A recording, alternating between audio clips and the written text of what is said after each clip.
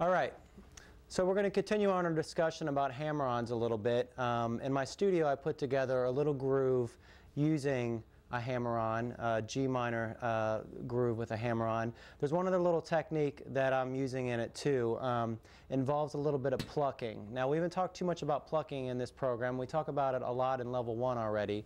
But just to give you a quick little briefer, when you're plucking on a string, basically you're getting your finger under the string, whatever string you decide to pluck on, and giving it a nice little yank, like that.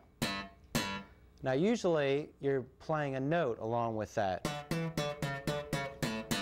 But in this case, what I'm going to do is I'm still going to pluck just like I was playing a note, but I'm going to mute the string.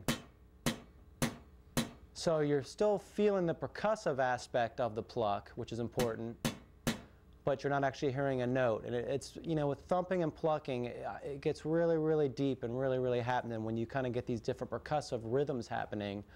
And um, you're not e necessarily even hitting a note. It's more, again, it's, it's like your bass is being a drum again, and that's, that's a real important thing. So here's, here's the, uh, the next uh, little groove I got for you, a little slow here. It goes like this. So let's break down that first little section. Hammer to F to G. I'm going to come down with my full hand like that for one percussive technique. Then I'm going to pluck the B flat or your minor third of that G, then another hammer, another come down on the string, and then the fake ghost note on the G. So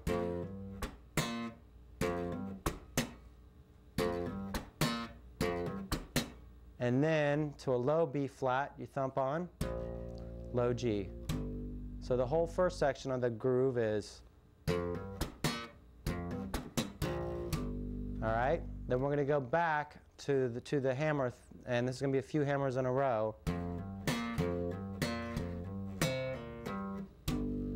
So let me do that again slower. We got two, one,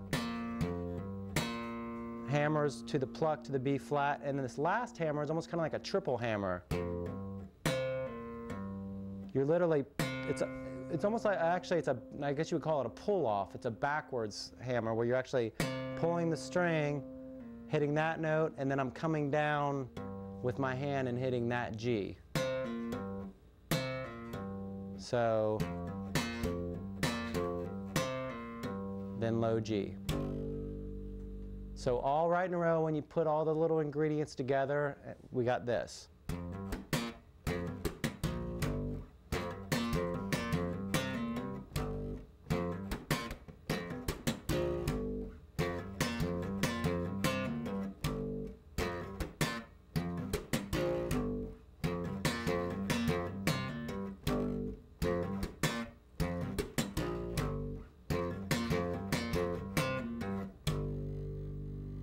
All right, so now let's do it with the actual track.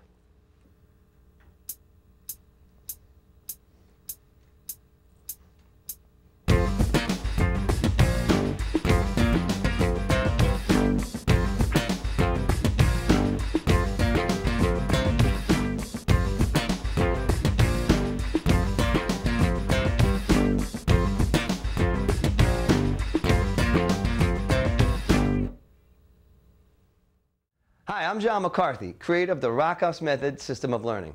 The lessons you just went through came from this Rockhouse program.